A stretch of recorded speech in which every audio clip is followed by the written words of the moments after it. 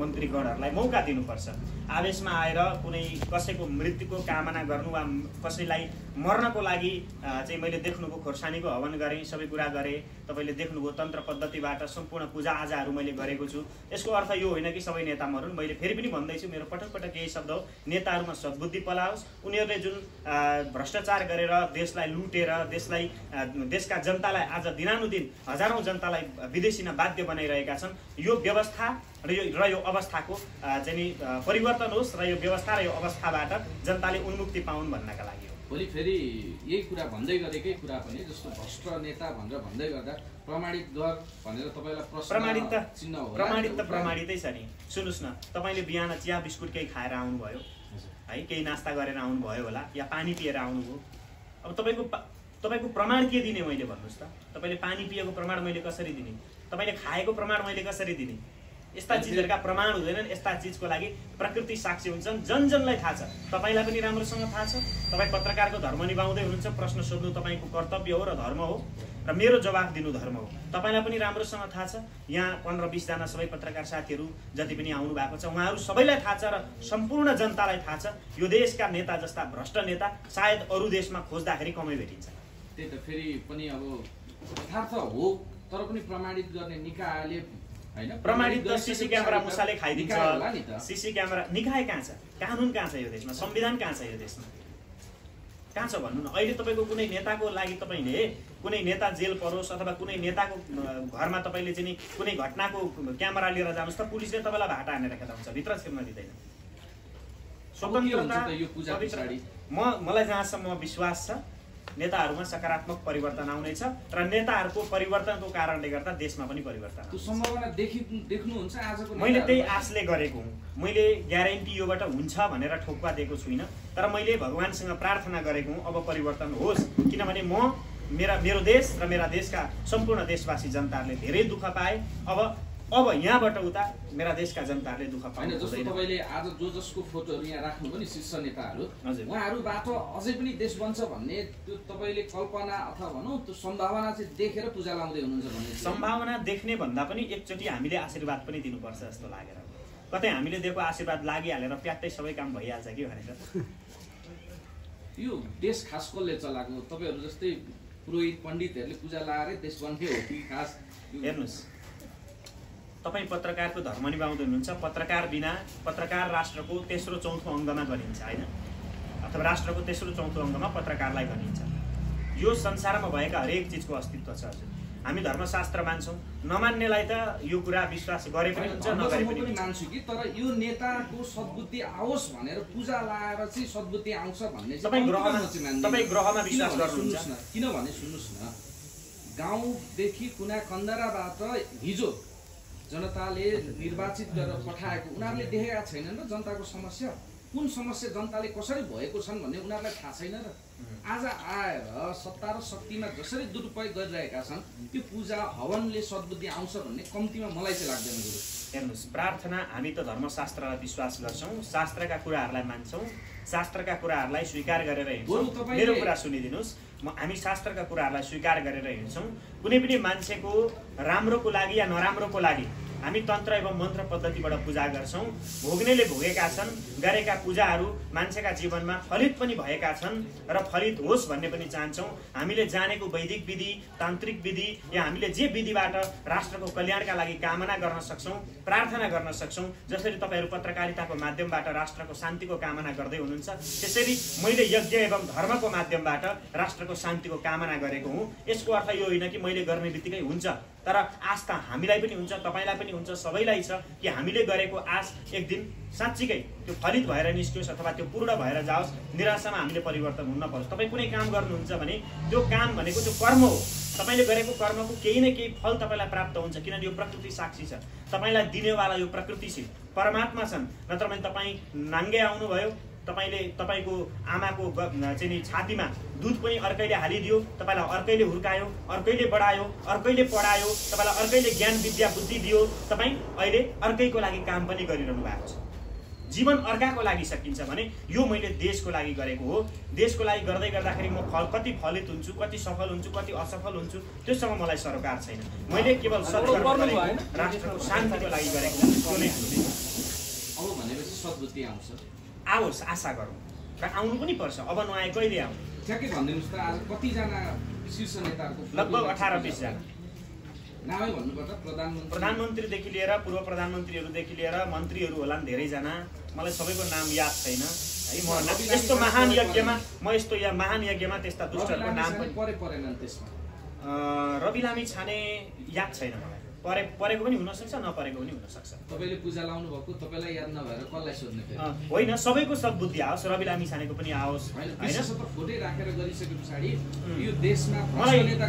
मलाई- स्वर्णिम पनि उहाँलेको फोटो याद छ। सायद रवि लामी छानेको नपरेको हुनसक्छ। स्वर्णिमको पर्ने रविको नपर्ने किन? त्यो पनि भनिदिनुहोस् मलाई जहाँसम्म लाग्छ रवि लामी छानेको विषयमा अहिले कुनै पनि विचार बनाइहाल्नु। अथवा धारणा बनाइहाल्नु त्यो हाम्रो लागि गलत हुन्छ।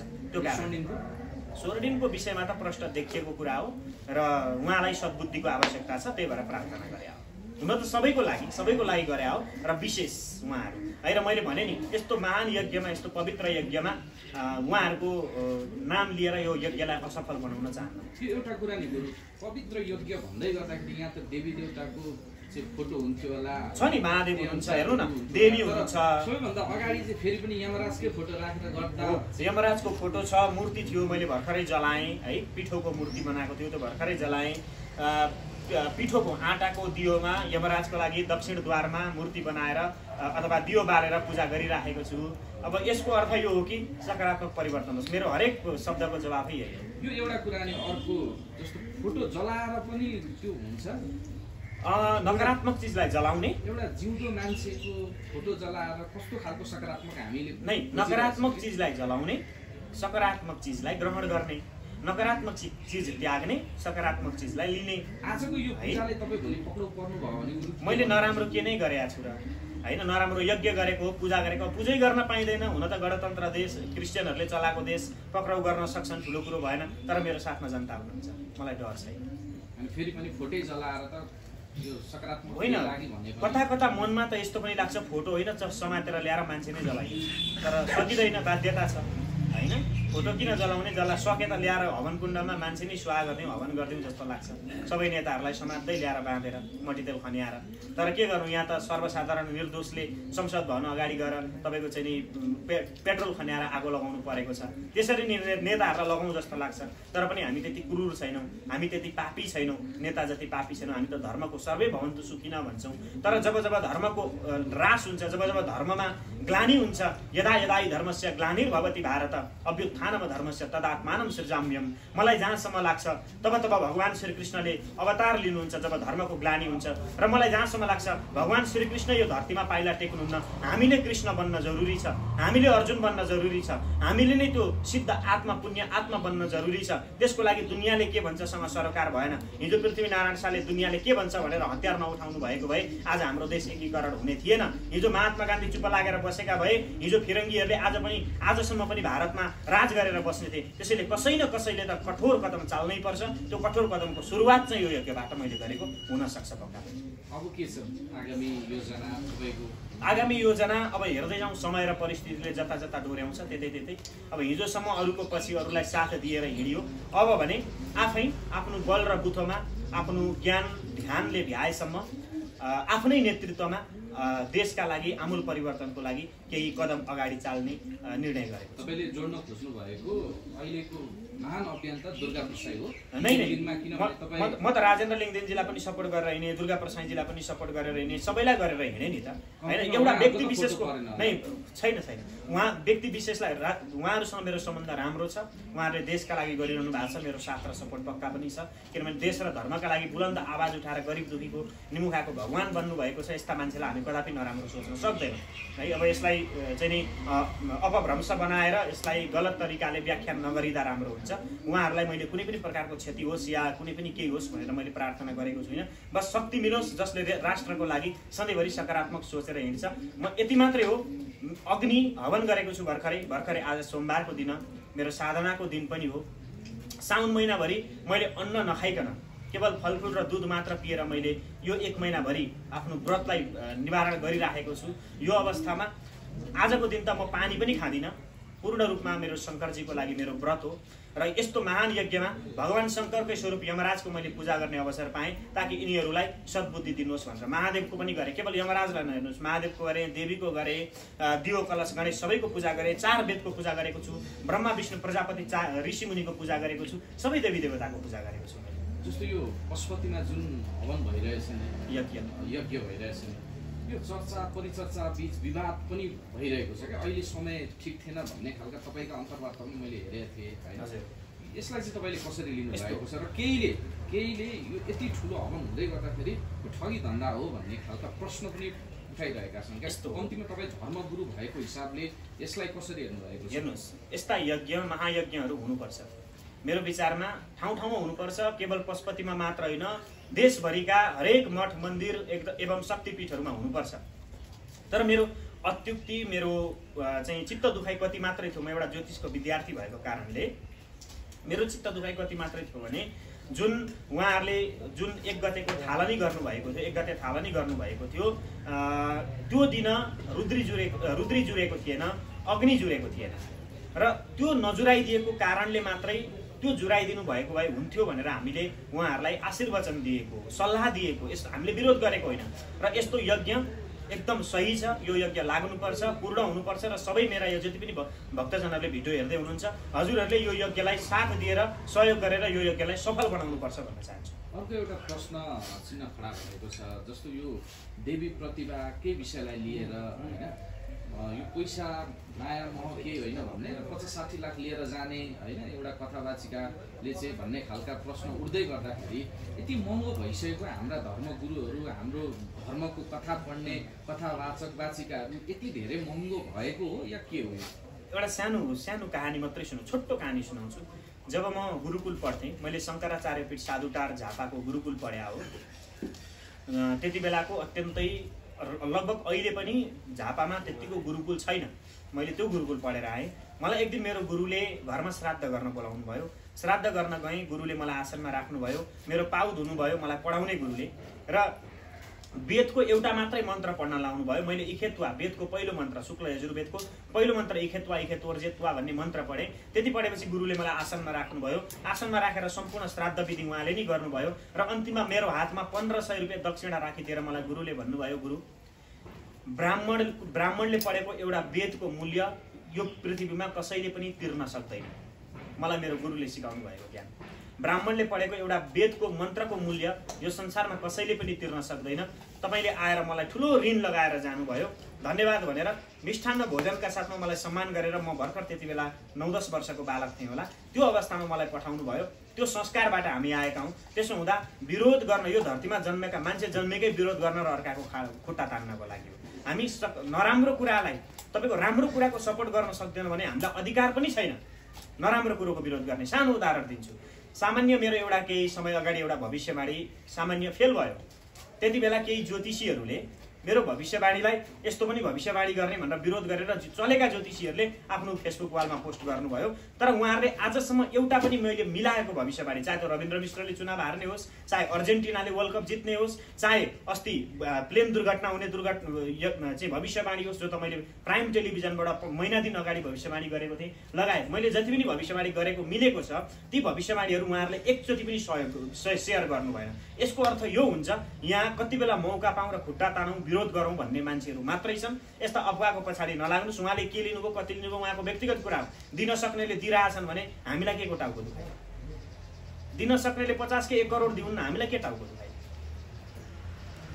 अनि उहाँ कसैले पचास लाख रुपियाँ दिएर आउँदै हुनुहुन्छ तपाईँले देख्नुहुन्छ विदेशबाट तपाईँको चाहिँ नि ठुला ठुला सेलिब्रेटीहरू नेपालमा आउँछन्। करोडौँ करोड तिरेर नेपालका चाहिँ नि बिजनेसम्यानहरूले लिएर आउँछन्। त्यति बेला त कसैले पनि प्रश्न उठाउँदैन। एउटा राष्ट्र शान्तिको लागि गरिब दुखीको सेवाको लागि यज्ञ गर्न भनेर बोलाएकी चेलीको यत्रो धेरै अपव्याख्या गर्नुपर्ने जरुरी के छ? त्यो भएर यो बिल्कुल गलत मेरो विषय विचार। आइसक्यो ल किन आयो?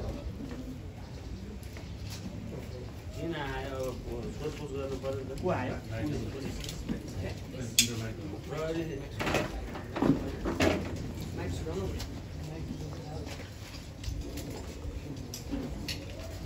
तपाईँको अन्तर्वार्ता हामीले रोक्न पर्ने भयो कि के हो?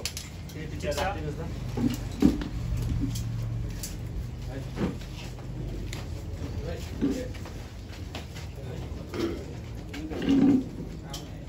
ए उसको अर्को नि डिजाइन निकाल्नु त भन्दैन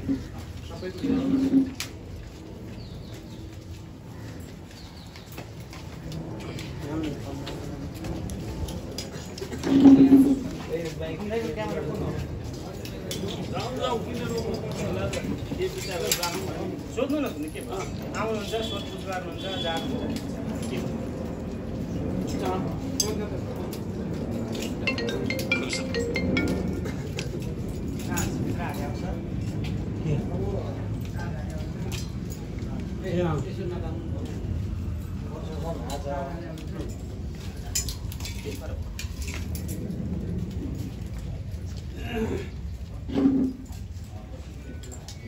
नर्भस हुनु पनि कुरो हजुर होइन। बाहिर पर्खिराखेको म उहाँले जवाफ दिनु होइन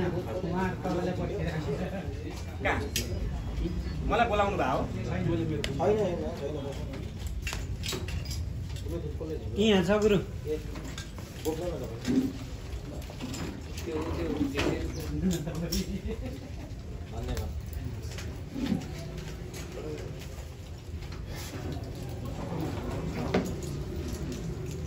यसो गरौँ न अहिले कन्टिन्यू गरौँ न कार्यक्रम गर्नु। त्यही त शान्तिको लागि गरेको कार्यक्रम हो। कार्यक्रमलाई अगाडि। नि